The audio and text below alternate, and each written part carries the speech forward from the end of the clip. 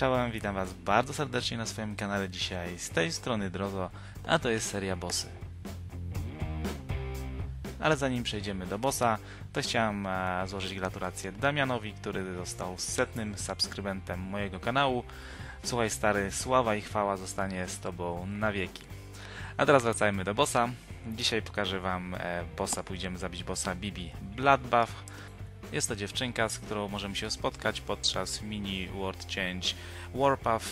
Na samym początku byliśmy w gildii podróżników i tam Wam zaznaczyłem, jaki komunikat musi się pojawić, żeby było wiadomo, że e, ona właśnie pojawiła się w Tibi. Oto jest jej obóz, jeden e, z obozów. E, Są trzy miejsca, w których ten obóz może się pojawić. To jest tutaj, czyli koło Karlina, koło Fermor Hills i na pustyni Jakundaw.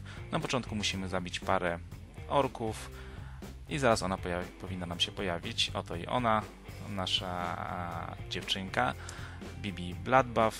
Jeżeli ją zabijemy, dostaniemy także achievement o tej samej nazwie, czyli Bibi Bloodbath.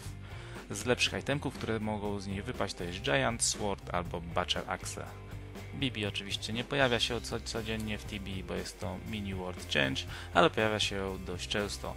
E, Jest to dość e, prosty boss, a można z niego wylocić fajne itemki. No i oczywiście, co najważniejsze, e, mamy również z niego achievement. Co do historii, to została ona wprowadzona do TB z update'em letnim w 2012 roku.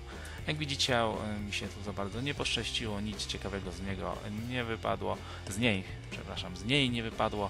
Ale achievement jest, więc e, to jest najważniejsze.